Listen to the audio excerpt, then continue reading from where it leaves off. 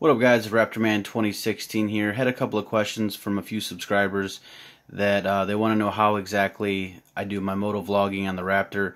So I'm going to take you through my setup. Um, first and foremost, you're going to need a rubber band or a hair tie. You're going to need this little mini USB extender. I bought this off Amazon for like three bucks and you're gonna want to buy it like this. The other official GoPro one sticks out like way out to here and then I'm gonna have to wrap it around. It just it was way too much.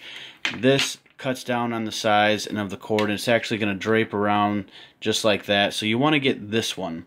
Like I said, uh, it's it's a mini USB um, adapter. I'll leave the link for most of these uh, items. Um, hopefully all of them in the description so you guys can find them. Um, this is going to be, this is the boom. This is my mic boom that I use. What I basically did is I just took it off my son's Turtle Beach headset that you see back there. Um, it had a detachable mic, so I just took it off there. Um, you can actually buy these for relatively cheap. Any 3.5 millimeter mic will do. Um, but since I had this laying around, my son has a, a Beats headset, so he doesn't need it. So I just went ahead and took this off there. And another thing I bought just to make sure that I had the length proper and that I was going to be able to uh, run the mic to the location that I wanted, I bought a 3.5 millimeter um, extender, male to female, as you can see. So I'm going to go ahead and connect all these and get everything hooked up and show you how exactly I do it. Here we go. Okay guys, I am back. I have it all connected and don't worry, I just washed the case. That's why there's water and condensation in there.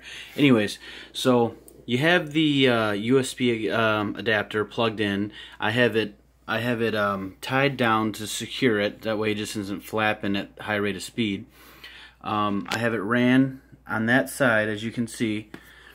And then I have it going underneath my helmet and then the mic is actually ran right there as you can see. Now that is the exact setup that I use. Um, it, you know, you can probably use it for up top um, or wherever, but that's just where I, I've been normally recording from. That's my current setup, but since the GoPro is only a one channel speaker system, um, you're going to have to do a little bit of editing in order to get your output speakers to um, have the sound come out both left and right speakers. If you were just to record like this and upload it directly, you're only going to get sound out of one set of speaker, or excuse me, one side of your speaker. I believe it's the right, depending on how you have your stuff set up. So I'll go ahead and I'll show you what I do on the computer side. So bear with me. Alright, I'm back.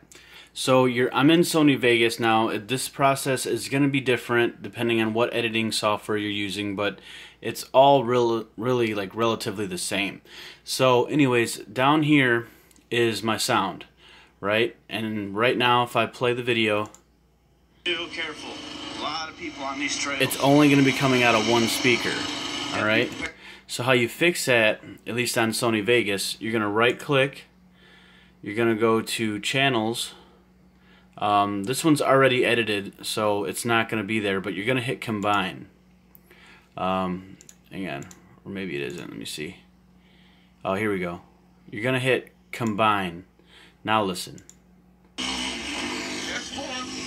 Now it's playing out of that one and that one.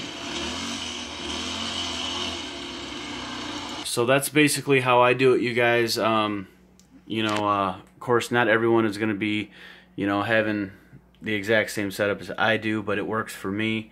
Um, only thing that I'm really still messing with is the rendering and trying to get the god-awful YouTube because YouTube just butchers my quality. Like the quality that I'm actually getting from these YouTube videos is horrible compared to the raw file. Um, I'm trying my best to try new editing techniques. I did record in 1440p.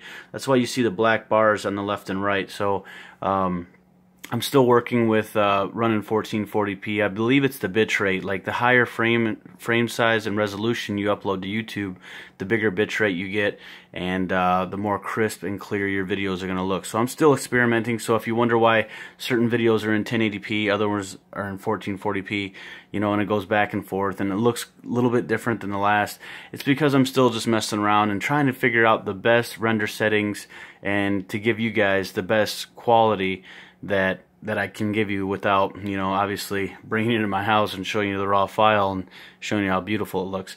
Anyways, this is Raptorman 2016. I hope you guys enjoyed the video. If you guys have any questions, be sure to hit me up in the comments and don't forget to subscribe. See you guys. Bye.